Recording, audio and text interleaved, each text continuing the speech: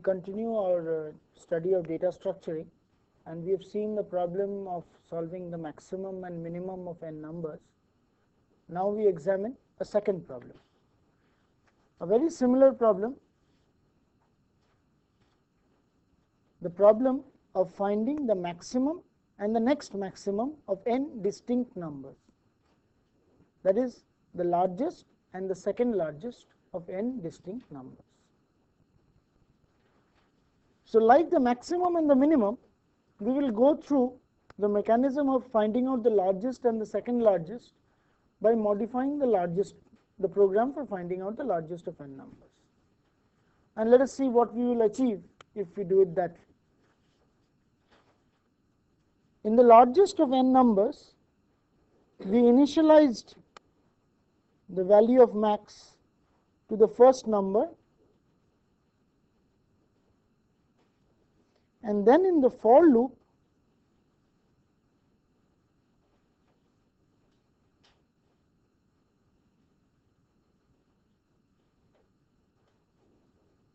what we did was we read in a number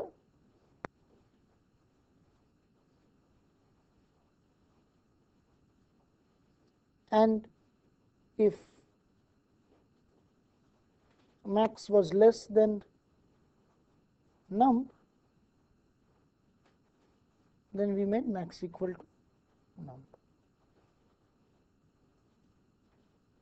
That was the simple thing that we did to find out the maximum of n numbers. And in order to find the maximum and the second maximum, we will also uh, take a very similar approach that we took to find the minimum. And I have seen nearly everybody do it this way when I asked anybody for the first time.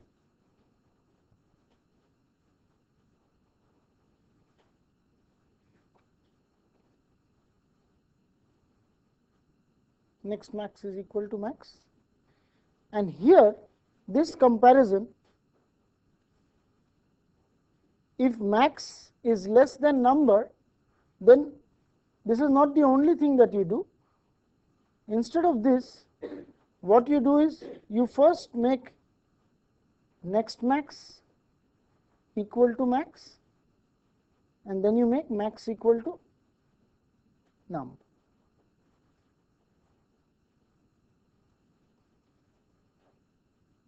If this is not the case, then this number may be still greater than the second maximum.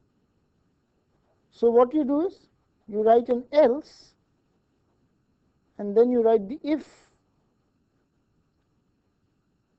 next max else is essential is less than num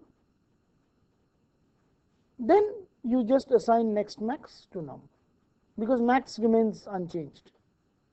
So, this is like this, these, these two brackets go in together. Please be careful about uppercase and lowercase, they are different in C language. So, this is how you would modify the program that if max is less than num, next max is equal to max, max equal to num. Else, if next max is less, less, less than num, then next max is equal to num. Okay. So, I have a program for that and just uh, let us run that program.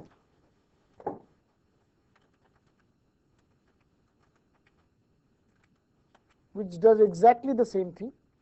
It reads in n here and then reads in the two values max and next max. So, we assume here that there are more than two numbers obviously and uh, the mechanism of initializing those two I have done it this way that uh, if uh, max is less than next max just we swap max and next max. So, we have initialized the two numbers and here is exactly the code I wrote down on that piece of paper, but here there is a slight modification since we have reading two numbers I have done i less than equal to n by minus 2.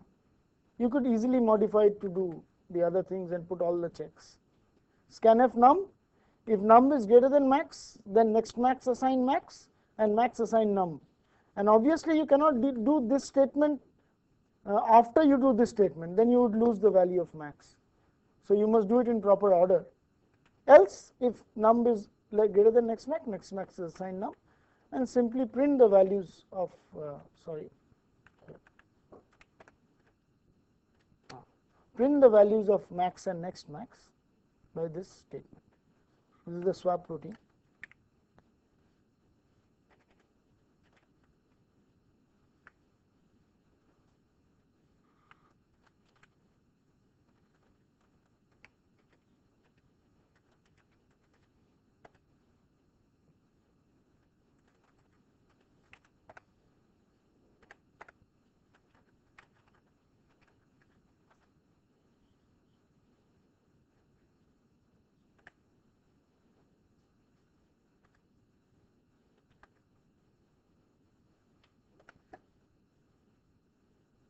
So, this program uh, is quite obvious that it will work correctly if you give more than two numbers. So, now let us again go back to paper and pencil analysis to see if we could do anything better. So, this is what our uh, the core of our program was and uh, in any case to do this if you look at comparisons only then you are definitely going to do how many comparisons at this point? This comparison will work and in the worst case you have to do both the comparisons because actually both may fail and you will have to do both the comparisons. So, you will end up doing something like 2 into n minus 1 or 2 into n minus 2 comparisons for finding out the maximum and second maximum of n numbers. The question is could you do better. Can anybody has any suggestions of what to do? Again we will go back to how max was solved and we will see whether we can do anything while solving max to get the next maximum. And the whole solution structure of finding out the maximum of n numbers, whichever way you work it out, actually inherently lies in that tournament structure.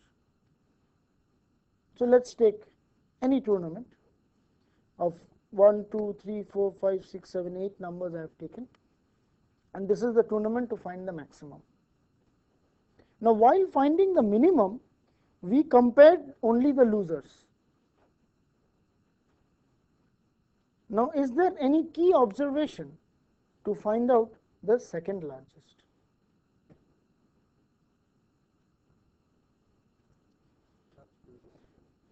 Can 4 be the second largest? The person who is the second best player in this tournament must have lost to the best player sometime. That is the core idea. The second largest must definitely lose to the largest in a comparison.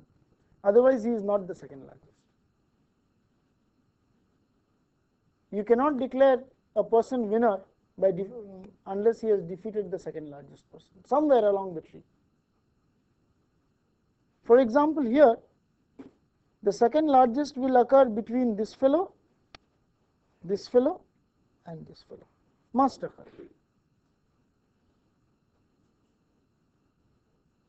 The second largest must occur among those people who have lost out to the largest. This is an absolutely key absolute key observation and these are the necessary and sufficient items which are to be compared to find out the second largest. That is you have to compare among the losers those who lost to the largest in the tournament and among them you find out the maximum. You will get the second largest element. For example, here between 1, 8 and 9 if you find out the maximum you will find the second largest element the rest are unnecessary to compare. So, we come to the key observation here. The second largest element must necessarily lose to the largest element in the tournament, point number 1. And now we come to the question of optimizing. The second largest element can be found by comparing only those elements who lost to or were compared to the largest. Along the tree, now not only at the first level as in the max and min, in the max and min we were satisfied by first time losers. But here it is not first time losers. He must have lost somewhere in the full tournament. And what do we want to do? Finding out the maximum of n numbers will require n minus 1 comparisons. We must minimize this set to find out the second largest. So, how will we minimize this set depends on how we set up the tournament.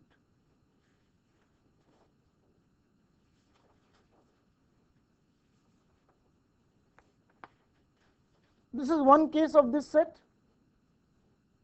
as we just saw.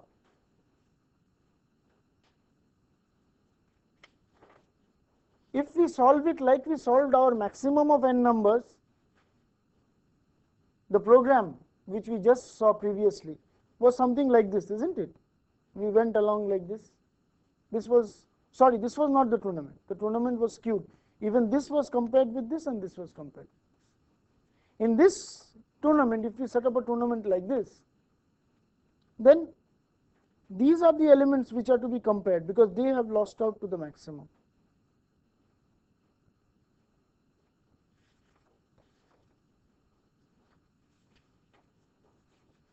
If it is like this, then only these elements have to be compared. This one, this one, and this one. Leaves not it's not necessarily that leaves have to be compared. now, can you tell me what decides the number of elements that are to be compared to find the second largest? The path is decided by the path of the winner. The length of the path of the winner decides that is how many tournaments the winner has to play decides how many opponents that person played with. So, you have to minimize the number of tournaments that the winner has to play. Now, you do not know the winner a priori, therefore, in the worst case, if you put in a tournament like this and the winner was here, then all the others would have to be compared. Therefore, the length of the path of the winner in the tournament decides it.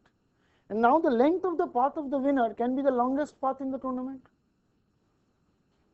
Therefore, in the worst case, the longest path in the tournament can decide the number of elements which are going to be compared to find the second largest. Therefore, your idea of minimizing the set to be compared for the second largest is to set up a tournament in which the length of the longest path is minimum. Therefore, we come to the solution that is the observation in which the solution is to be obtained. In the worst case, the number of comparisons to find the second largest is equal to the length of the longest path in the tournament, in the worst case. Because that may be the path of the winner. Therefore, the length of the longest path of the tournament is minimized, must be minimized and we say that it is minimized when the tournament tree is balanced. What do we mean by balanced?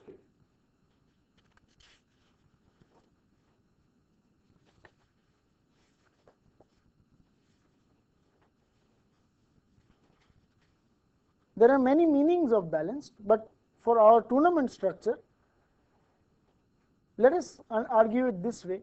If we set up pairwise comparison at the leaves, and then pairwise comparison. If we continue to do pairwise comparison as is done in a standard tournament, you will see that if there are 2 to the power n numbers here like 8, for example, if there are only 2 players, then there will be only 1.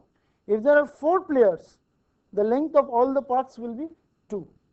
If there are 8 players, then you can set up the tournament by playing only pairwise so that the length of the path will be 3. That is, you can make n players play in such a way that the length of the path will be k such that k is the smallest integer which is just greater than such that 2 to the power k is just greater than or equal to n. In other words, the length of the path, the length of the longest path can be reduced to this value. The ceiling that is the largest integer or the you round you round off this into or you truncate plus 1 truncation of log n to the base 2 plus 1 which is called the ceiling that it is the next integer which is closest to n. So, if you balance we will come to balanced uh, trees and balanced tournaments much later on, but let us understand it that if we play it pairwise here and then pairwise here and then pairwise here and continue we are just going to get the minimum uh, length of the longest path. And if we get the minimum length of the longest path, then all we have to do is compare amongst the losers.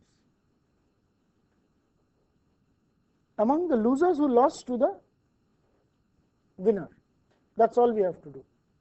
So, this is the idea of solving the problem. Now, we have to get it down to programming. That is, are we going to store up this structure? Because unlike the maximum and minimum, where we could just put them into arrays very simply. We do not know the winner till the complete tournament is finished. Therefore, only when the tournament is over can we know who is the winner and only based on that can we decide on who are going to be compared in the next phase.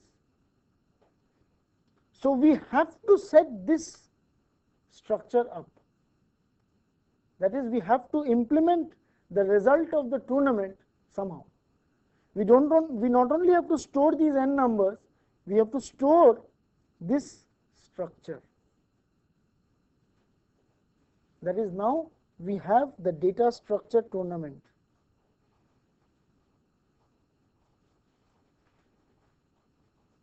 which was not so obvious in the previous case,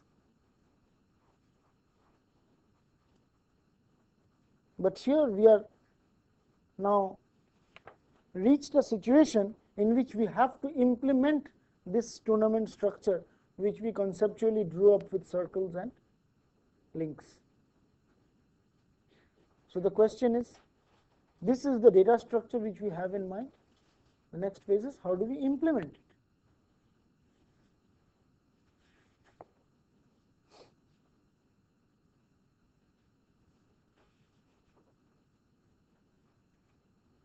So, we come to the next question. How to implement a tournament structure.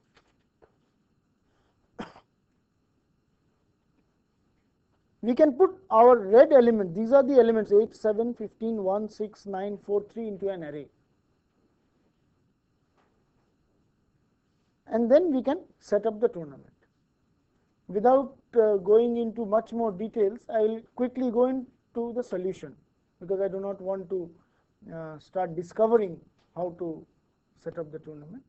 But if you have some idea about uh, numbering, then you will see, suppose I did a numbering like this 1, 2, 3, 4, 5, 6, 7, 8, 9, 10, 11, 12, 13, 14, 15. Okay. Let's see this numbering. The comparison, now suppose my read in elements are put in array locations 8, 9, 10, 11, 12, 13, 14, 15. Then the comparison of 14 and 15 goes into 7. The comparison of 12 and 13 goes into 6. The comparison of 10 and 11 goes into 5. The comparison of 8 and 9 goes into 4. The comparison of 4 and 5 goes into 2. The comparison of 6 and 7 goes into 3. The comparison of 2 and 3 goes into 1. So now do we have a mechanism of knowing exactly where the comparison of two elements will go into? If two elements are in locations, we, we have made sure that two elements which are to be compared are in consecutive locations, point number one. And the result of their comparison goes into the, that index which is half of their index. 8 by 2 is 4, 9 by 2 is 4 if you do integer division. Similarly, 10 and 11 by 2 is 5. Here, 14 and 15 by 2 is 7. 6 and 7 by 2 is 3.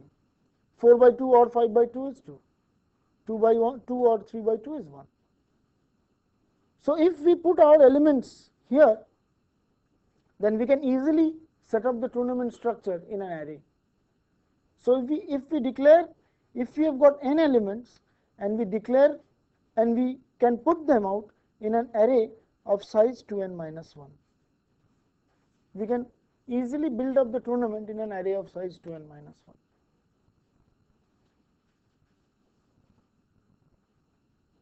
Okay. So, how do we build up the tournament in an array of size 2n minus 1? Is the next question.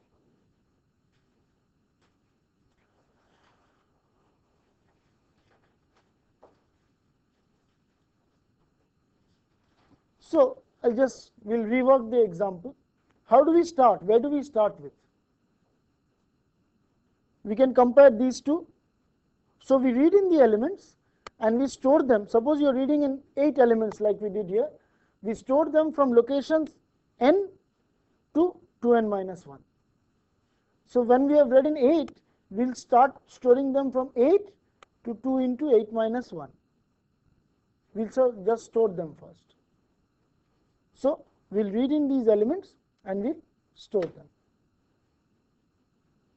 8, 7, 15, 1, 6, 9, 4 and 3.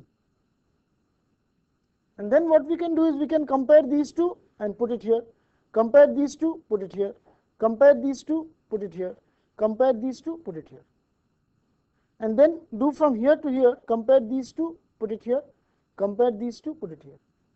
And then compare these two and put it here. A much more easy way of doing the whole thing is if you start backwards. You compare these two and put the larger here. Compare these these two and put the larger here. Compare these two and put the larger here. Compare these two and put the larger here.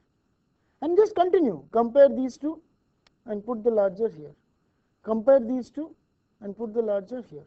Compare these two and put the larger. So, for i equals to 2 star n minus 1 right up to here in one loop you can simply set up the tournament. Is that okay?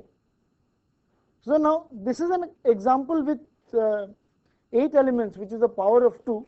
Let us just do another example which is not a power of 2. So we have got 1, 2, 3, 4, 5, 6, 7 elements. So n is equal to 7.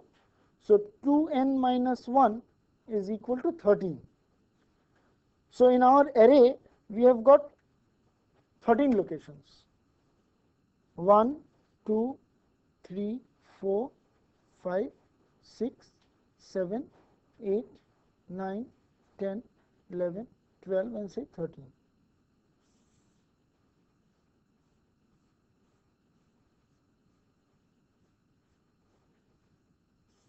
The first thing that we do is store the numbers from 7 to 13 8 7 15 1 6 9 4 and then start backwards. 9 and 4 will be put in 6 so 9 is put here. 1 and 6 is going to be put in 5 these two these two are going to be put here. Now note since it was an odd number there was a problem but that problem is taken care of. These two are going to be compared. And this is going to be put here. These two are going to be compared and this is going to be put here. These two are going to be compared and this is going to be put here. You get a slightly different structure compared to the tournament that we would have set up but this is also a tournament. So doing it this way will give you the full tournament structure setup now once you have the tournament structure you know which is the largest? Now what do you do? Now how do you find out the second largest?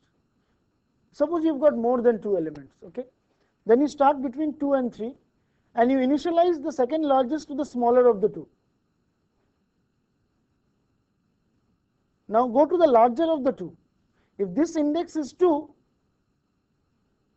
so if this index is 2 then jump to 4 and compare these two. The smaller of the two must be compared with the tentative second largest. So first you start with 15 and you initialize the second largest to the smaller of these two. So you keep a variable called next say which is initialized to 9 and index i is made 2 because this is larger and this is smaller. Then you make i is equal to 2 into i and so i becomes 4. Once i is made 2 into i and i becomes 4, now compare 4 and 5, i and i plus 1. The smaller of the two is compared with this. That is smaller of the two is 8 is compared with this the index of the larger of the two is doubled to find out the other two locations. So we first compared with we saw these two compared with this one then we came here jumped found out the other two which are to be compared saw this one and then again we jumped and saw this one.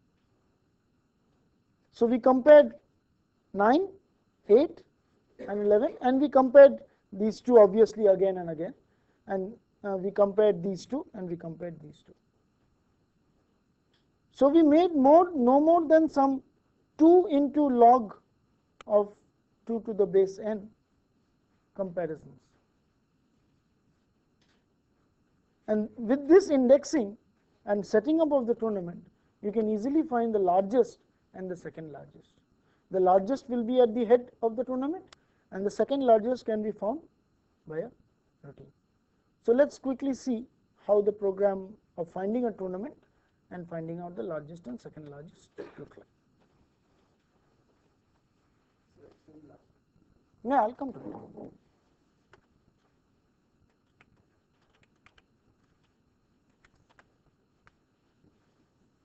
So what we will do is we have declared an array for the tournament this is a program which just sets up the tournament. It does not do anything else. So today we will just see how to set, uh, we will see the program of setting up a tournament. This will have large implications in solving other problems as well. So we will uh, visit uh, this tournament again in the next class. So we read in n, then we read in the n numbers and stored as I said from n to 2n minus 1 in the array tournament. So initially the n elements are stored from locations n to 2 star n minus 1 as I mentioned. So that's where you read them all into. And what is the loop? The loop starts from the end. So it starts from comparing initializing i to 2 star n minus 2 as long as i is greater than 1 and at each step you are comparing pairwise and moving back. So you the loop control is i equal to i minus 2 and what you do is you put the turn i by 2 index to the maximum of turn i and tune i plus 1. That is what we were doing when we did it by our own hand calculations. For example, first the index 2n minus 2 and 2n minus 1 will be compared and the maximum will be stored in that i by 2. Then i will become i minus 2. So, if it if there were total of 8 elements then we would have started comparing 14 and 15. The next we would have and stored it in 7. Next i would be i minus 2. So, we would have compared 12 and 13 and stored the larger of 12 and 13 in 6 and continued till i continued as long as i is greater than 1. When i becomes 1 or 0 we stop. So, this is how you just set up the tournament and this maximum maxi program it just takes a very simple thing it finds out the maximum of two numbers and returns the larger number. That is what it did it took two numbers and returned the maximum of two numbers. So, let us see how the setting up of the tournament works.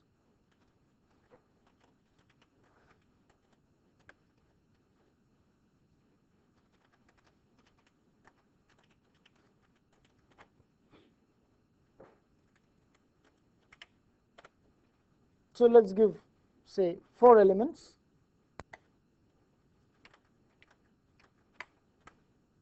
So, we have given 4 elements 3, 1, 2, 4.